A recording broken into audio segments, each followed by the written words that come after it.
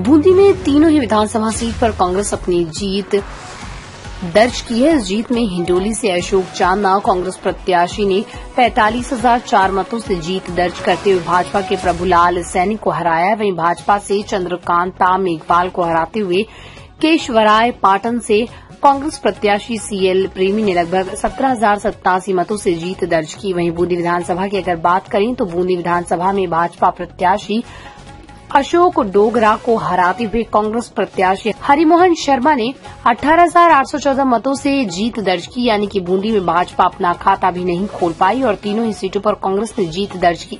कांग्रेस की जीत के बाद कांग्रेस कार्यकर्ताओं और पदाधिकारियों में ज़बरदस्त उत्साह देखने को मिला। हर तरफ़ कार्यकर्ताओं द्वारा पटाखे जलाकर मिठाइयाँ बांटी और बूंदी ज़िले में कांग्रेस की ज़बरदस्त जीत की बधाइयाँ दी। मैं बूंदी विधानसभा क्षेत्र के सभी मतदाताओं का हृदय के गहन से आभार व्यक्त करता हूँ कि उन्होंने मुझ पर विश्वास अभिव्यक्त किया।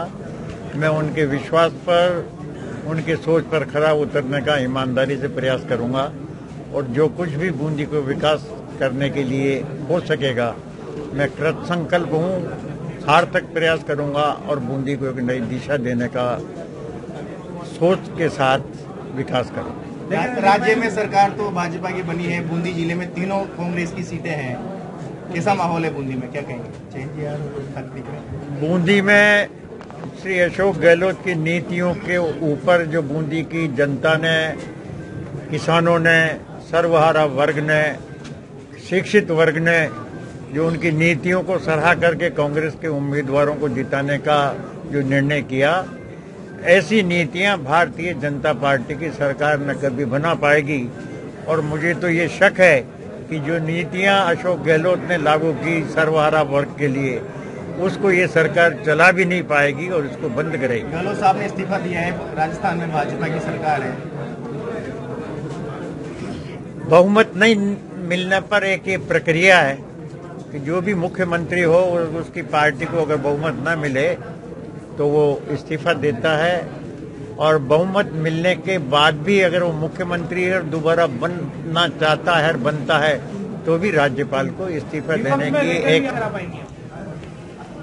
विपक्ष में भी मैं 2003 से 8 में रहा था। विपक्ष में रहने पर भी सरकार की हिम्मत नहीं है कि हमारे वाजिब कामों को रोके।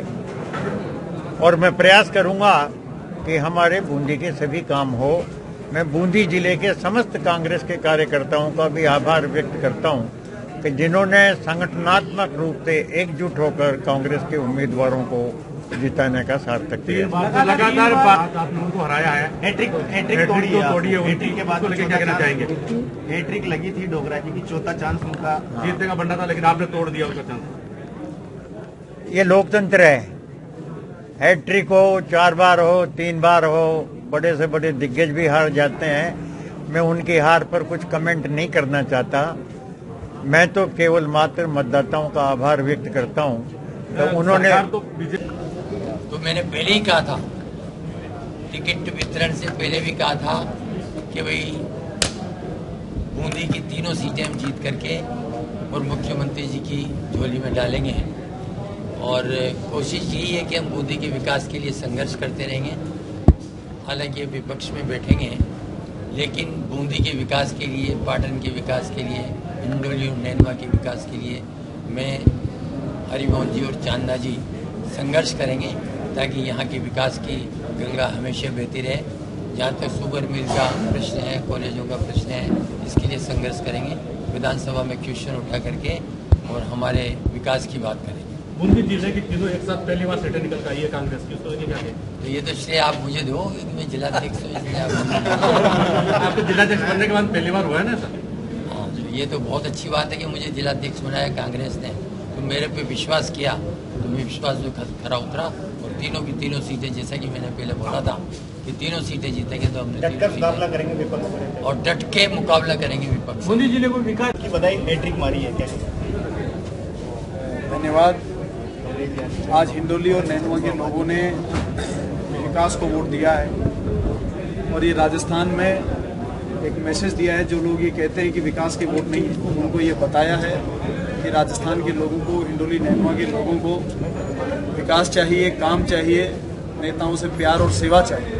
तो मुझे लगता है कि हिंडोली नैनवा की माताएँ, बहनें, बुज़ुर्ग, नौजवान, बच्चे, जो उन्होंने प्यार के बदले में प्यार और सेवा के बदले में जो आशीर्वाद हमें प्रदान किया है मैं समझता हूँ कि ये आशीर्वाद हम कभी भूल नहीं पाएँगे। और पैंतालीस हज़ार के विशाल मार्जिन से पूरी हाड़ोती में एक मैसेज देने का काम किया है कि जो काम करेगा जनता उसको ज़्यादा से ज़्यादा सपोर्ट करती है।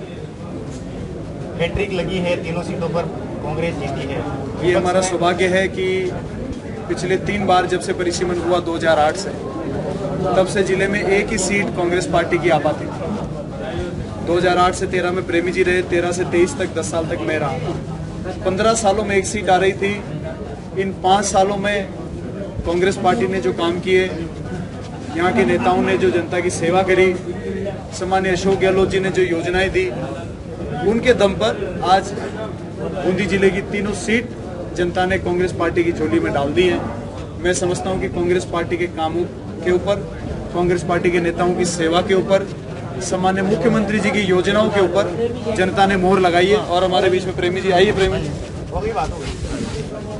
और प्रेमी जी, जिलाध्यक्ष बनने का भी मैसेज है पूरे ज़िले में। पूरे ज़िले में लहर आ गई, उसके बाद। में